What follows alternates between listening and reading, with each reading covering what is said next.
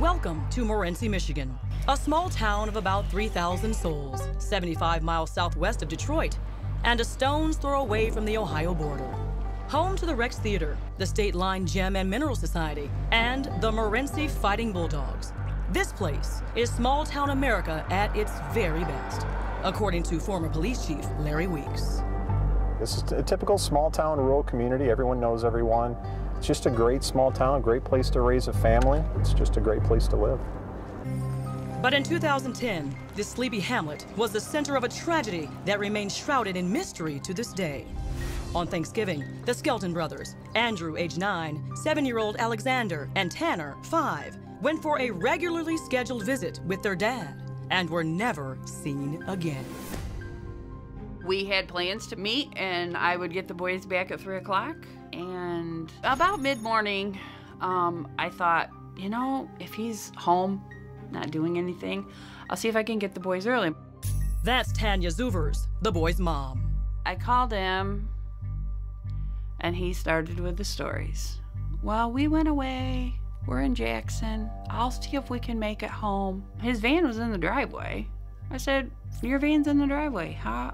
Well, they came and picked us up because we didn't know where we were going. And at this point, I had no reason not to believe him.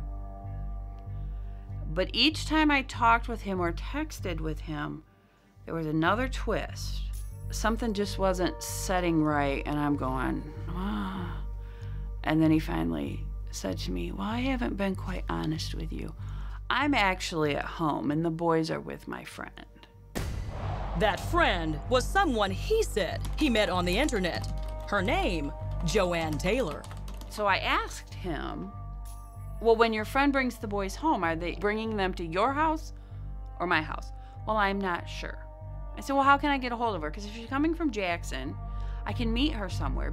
And then John dropped a bomb. He told her he was calling from the hospital. Skelton claimed he tried to hang himself.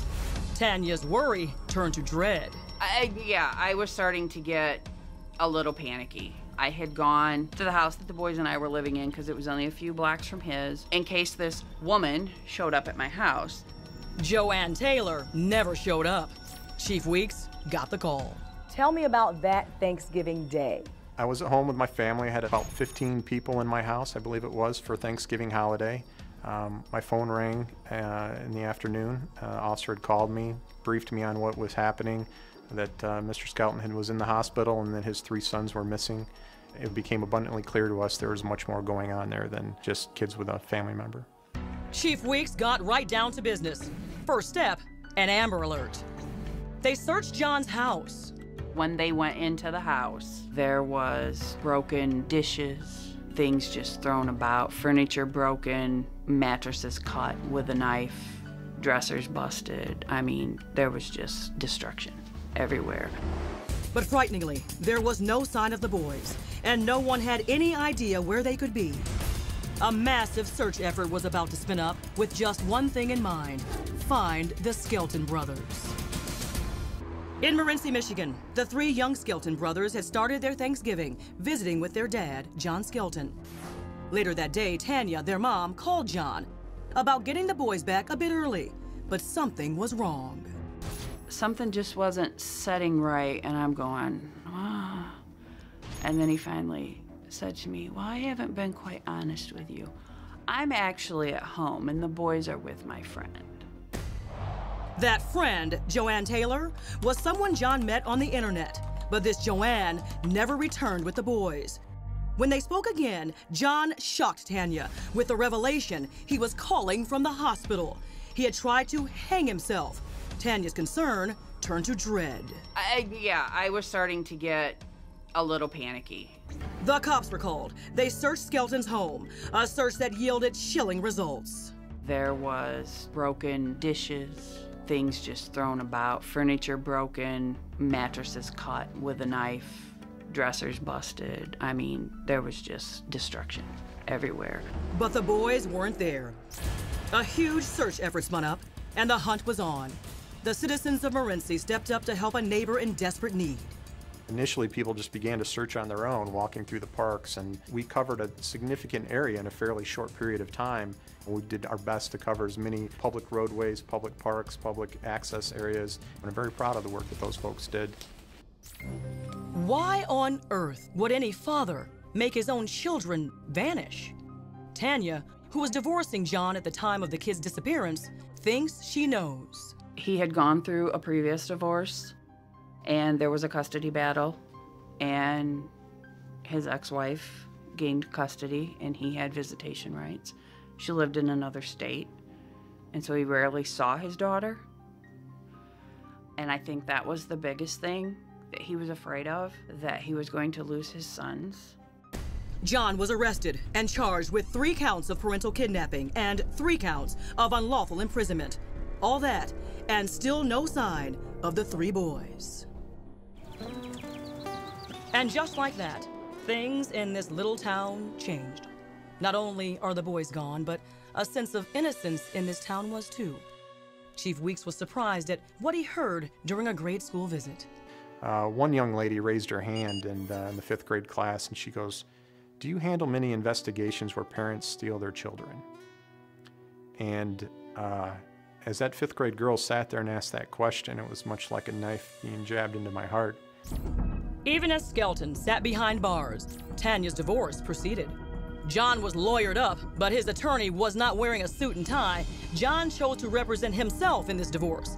And in a bizarre twist, actually questioned Tanya on the witness stand about himself. How do you know that your husband knows where the kids are at?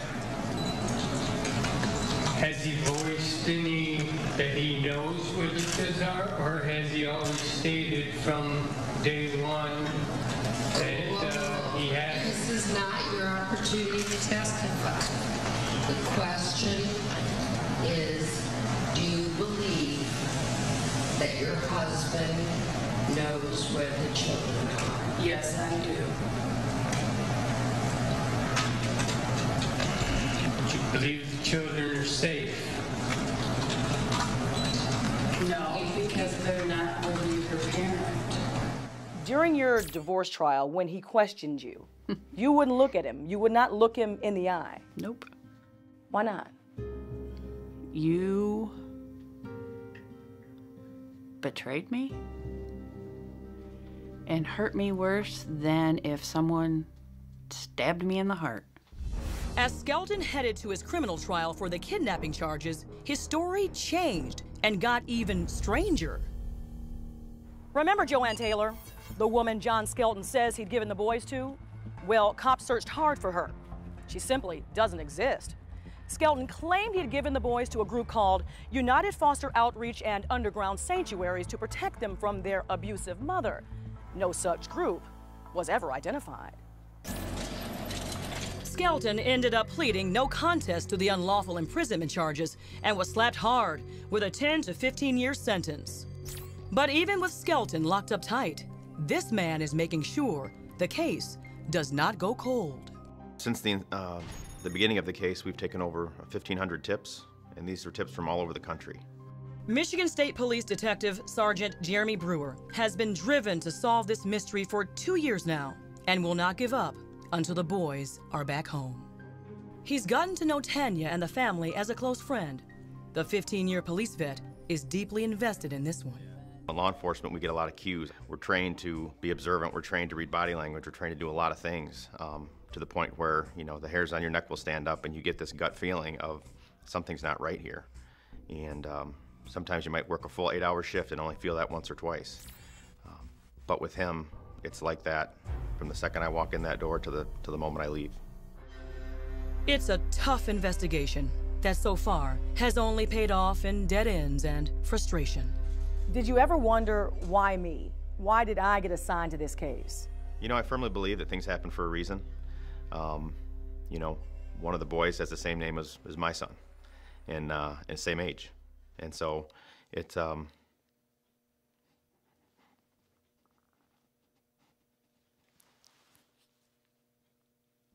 Sergeant Brewer does have one new tool available to him. The Center for Missing and Exploited Children has produced age progressed pictures to show how the boys might look now. who knows if that's what they truly do look like? we have hope. We don't give up hope every day that um, we will be able to bring closure to the family um, and find these boys. And um, we'll take any investigative help we can we can get. As Sergeant Brewer continues to tackle this investigation, backpack-toting kids tromp past Tanya's home on their way to the Morenci Elementary School, just up the street. Sometimes it hurts to see how life just goes on.